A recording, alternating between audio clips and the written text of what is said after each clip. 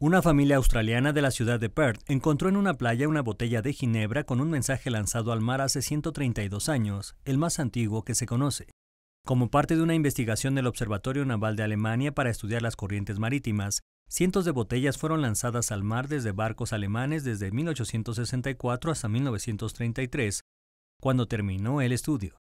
Cada botella era arrojada al mar con un mensaje en su interior donde el capitán del barco que la había transportado escribía la fecha, las coordenadas de su posición geográfica y detalles de la ruta que seguía. La familia Illmans, que encontró este mensaje, entregó la botella y su contenido al Museo de Australia Occidental, donde el responsable de la sección de arqueología marítima, Ross Anderson, hizo las primeras investigaciones. Se pudo determinar así que la escritura correspondía a la del capitán del buque Paula, información idéntica a la que se encontró en la playa de Perth. El mensaje estará en exhibición los próximos dos años en el Museo de Australia Occidental, indicó el reporte de la Australian Broadcasting Corporation, Notimex.